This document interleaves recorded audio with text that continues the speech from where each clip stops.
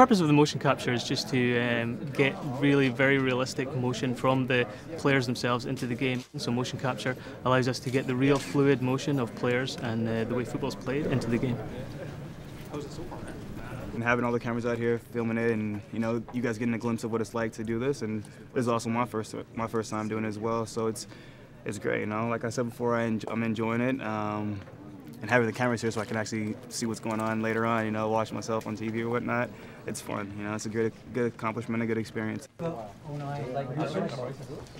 Aaron McHardy, and they just want to uh, show you uh, a little bit of the game. Yeah, yeah, yeah. We'll just show you what we've been working on this year. So position themselves where it stands. Yeah. You can call for. FIFA's crazy. I've been playing it since I was a kid. Um, like I was telling them earlier, you know, I created my own player in the game, and now to actually have my player on the game, I'm, I'm, gonna tease my little brother about it a little bit, you know, because he's not in the game yet. So I'm gonna play against him and play as myself, score some goals on him, and you know, tease him a little bit. Toronto FC, we're in the game.